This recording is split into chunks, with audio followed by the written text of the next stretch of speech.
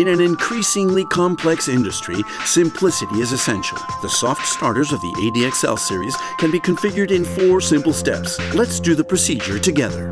When you switch it on, the soft starter presents the words Auto Set on the screen. Press the Start key to start the guided rapid configuration process. First, you'll be asked the language to use. Press the Start and Stop keys to choose one of these. English, Italian, French, Spanish, Portuguese, and German. Press Next to confirm. Now enter the nominal motor current.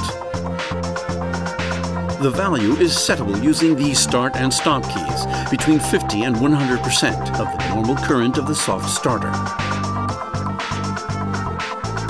Then press Next to continue.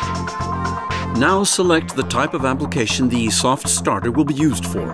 Press Start and Stop to choose one of these. General Purpose, Centrifuge Pump, Firefighting Pump, Conveyor Belt, Fan, and Mixer. When you do this, the soft starter will autonomously configure itself with the parameters typical of the type of application chosen. Press Next to continue. Lastly, select the duty of startup with the Start and Stop keys.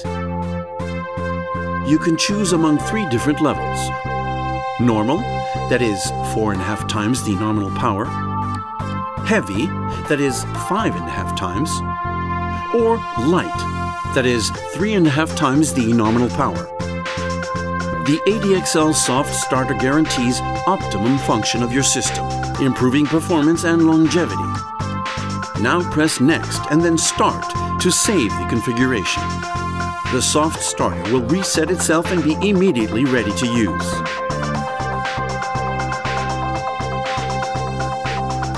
Remember, you can always edit individual parameters whenever you need to with the Startup menu of the Soft Starter.